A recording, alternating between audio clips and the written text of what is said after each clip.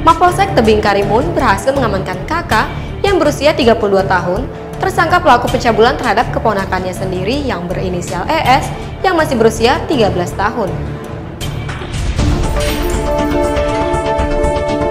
Kejadian pencabulan tersebut bermulai pada Selasa 18 September 2018 silam. Saat itu korban sedang berada di rumah, lalu pelaku kakak yang merupakan paman korban masuk ke dalam rumah serta mengajak korban ke kamar salah satu anaknya.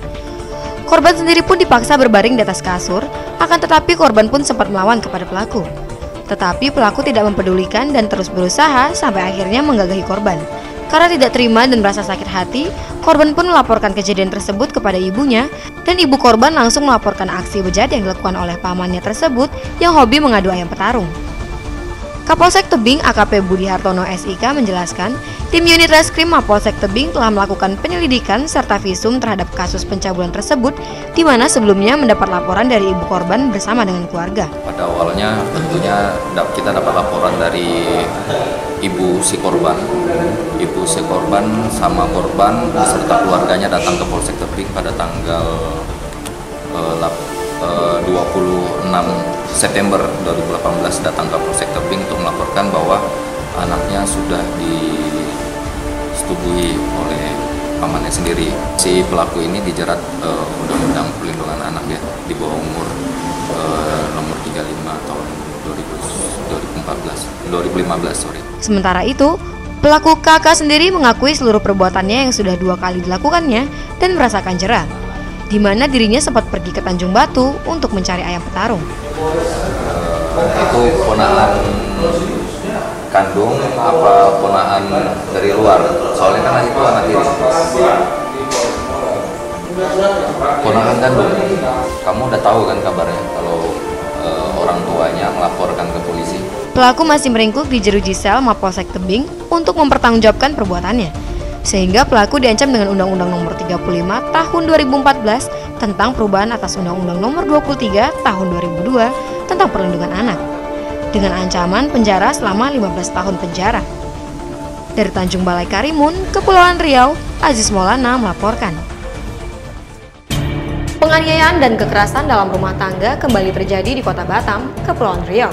Ironisnya, aksi kekerasan yang dilakukan Awe terhadap istri sirihnya di bawah pengaruh narkoba yang dikonsumsi kedua pasangan pada saat berhubungan intim. AW, pelaku penganiayaan terhadap istrinya yang berinisial S yang tewas dengan luka lebam di sekujur tubuhnya, akhirnya ditetapkan menjadi tersangka oleh pihak kepolisian.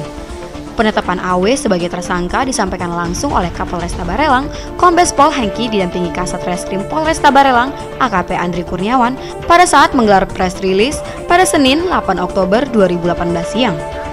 Menurut Kapolresta Barelang, Kombes Pol Hengki, tersangka nekat memukul korban secara membabi buta karena tersulut emosi pada saat melakukan hubungan badan, sang istri menyebut nama pria lain. Hengki menjelaskan, Kekerasan yang dilakukan oleh tersangka pada saat berhubungan badan memang sering dilakukan.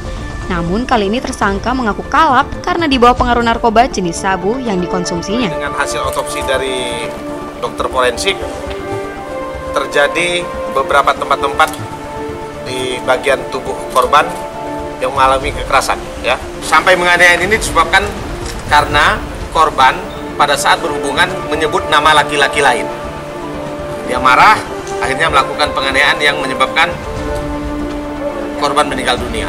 Kapolres menambahkan, pengungkapan kasus ini berawal ketika pelaku yang membawa jenazah korban berhenti di pos Polantas Simpang Kepri Mall dan meminta bantuan petugas untuk mengantarnya ke rumah sakit.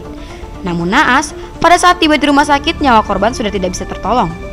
Untuk keperluan penyidikan, mayat korban kemudian dibawa ke rumah sakit Bayangkara Polda Kepri untuk dilakukan otopsi.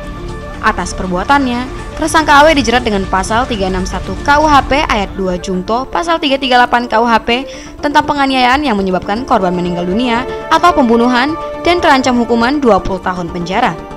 Dari Batam, Kepulauan Riau, Pascal Rieng Hepat melaporkan. Pemirsa tetaplah bersama kami karena kami akan kembali setelah jeda pariwara berikut ini.